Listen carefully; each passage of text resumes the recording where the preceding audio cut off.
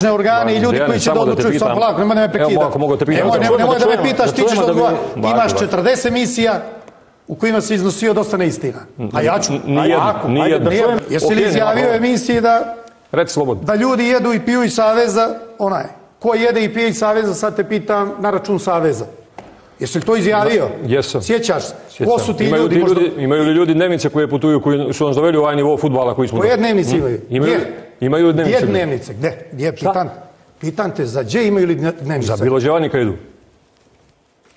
Imaju li dnevnice ili nema? Imaju jednu dnevnicu. Jesi kaznio kog ove 20 godina za loše rezultate? Ko, ko jede i pije nisi mi odgovorio. Ti što idu, na- ti što idu sa savezom idu na dnevnice. Imaju dnevnice ljudi, imaju dnevnice ljudi. Imaju. Tako je. E, Jesu to moje pare i tvoje pare, su to naše pare? Tvoje pare. Moje pare i tvoje. Isto, isti je savez pare. i tvoj.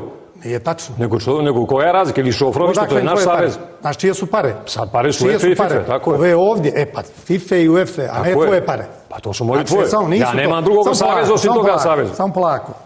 Ne, no, rekli su mi da se ljut, u meni je drago da se ljut. ali rekao, evo, da sad ću ti kažem, znači ne znaš ko pije. Treba da budeš ljut na sebe i na ljudi. oko sebe. Evo, sam Evo polako, sam polako. Znaš ko ide na puteve? Evo da te, ko ide na puteve?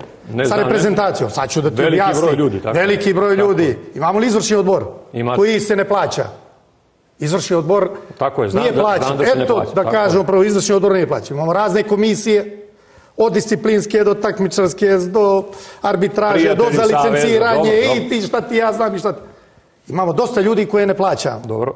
i koji ima kroz ta putovanja iskažemo ne, neko poštovanje Rijetko, prema njima. Rijetko koga ste pozvali u sportista, nekoga da... Eto, Polako. Nećeš valjda ti da određuješ koga ćemo Ne, da zovemo. daleko bilo, A hvala. Bogu. Pa eto Daleko to. Određujem li ja budućnost kad ide naput Sutjeska i, ovi, i u Evropi odr- određuje li futbolski savez koga će da vode naput? određuju, ali Bravo. budućnost mora da vodi računa koga Ne, vodi, pa, tako? Slušaj, to je, to je tvoje mišljenje. Ja te pitam, futbolski savez vodi ove ljude.